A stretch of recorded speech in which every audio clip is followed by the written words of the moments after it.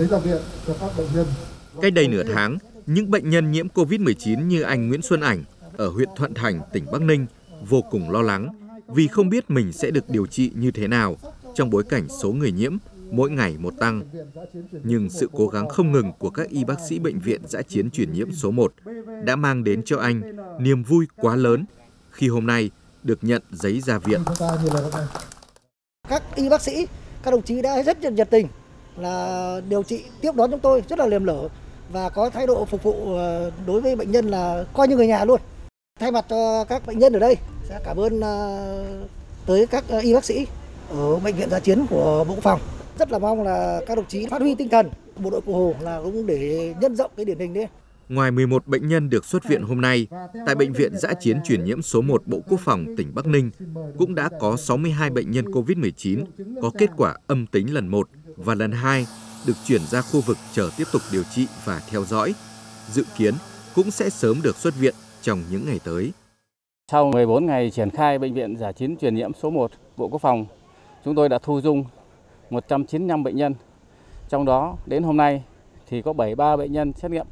âm tính. Trong số 73 bệnh nhân thì có 43 bệnh nhân âm tính lần 1,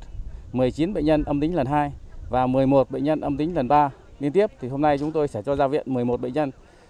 Trong quá trình điều trị thì à, chúng tôi áp dụng phác đồ theo cái quyết định 2008 của Bộ Y tế và chúng tôi có các cá thể hóa à, từng bệnh nhân trên các cái cá thể hóa khác nhau chúng tôi áp dụng và linh hoạt phác đồ điều trị.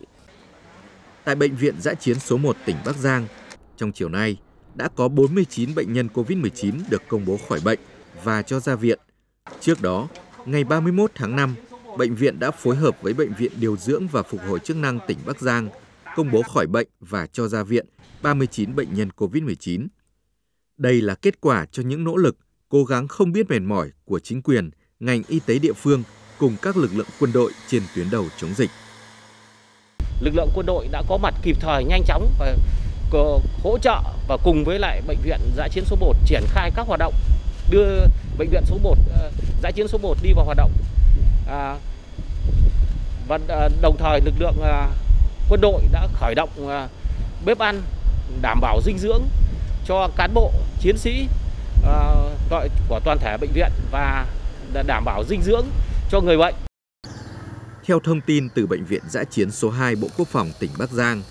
hiện các y bác sĩ của bệnh viện đang tiến hành lấy mẫu xét nghiệm lần cuối để công bố khỏi bệnh cho các bệnh nhân trong những ngày tới.